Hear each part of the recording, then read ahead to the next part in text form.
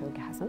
ليتلي كده؟ أنا عاطل عن العمل لكن بعرف روحي كمدافع مدافع عن حقوق النوع.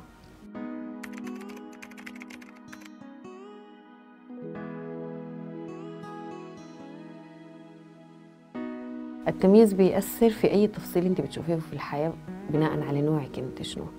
سواء في لو أنت عايزة تطلعي من البيت آه لو أنت عايزة تشتري حاجة لو حصل أي حدث مهما كان كبير تكتشفي إنه هو تأثيره بيكون مختلف عليكي لأنه نوعك مختلف. طيب أنا بالنسبة لي هل قاعدة بنهيه أو ما بنهيه؟ بس قادرة أتكلم عنه أو قادرة أكون واعية له. إنه أي حاجة نحن قاعدين بنعملها هي بتفرق أنت راجل ولا أنت مرأة.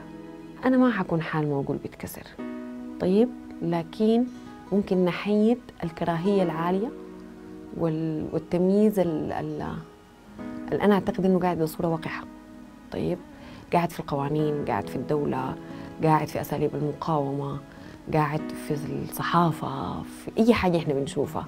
فعلى الأقل ما يكون بالوقاحة الظاهرة دي.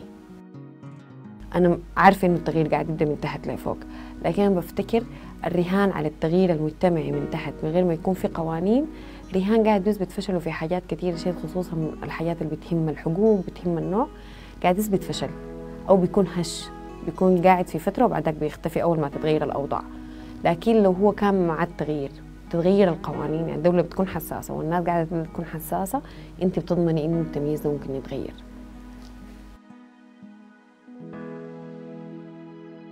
ما تزعلي لكن ما ما قادرة أتخيل السودان. اللي حتة تانية.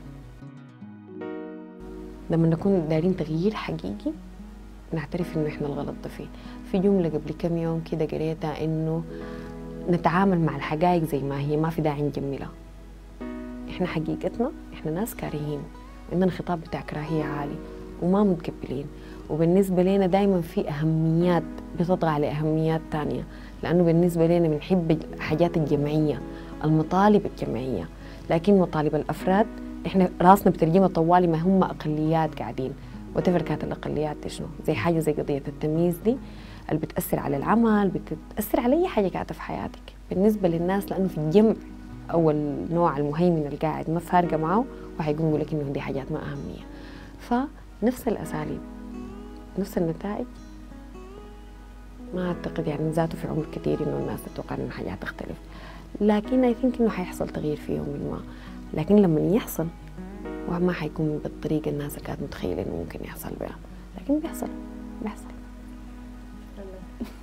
تسلم.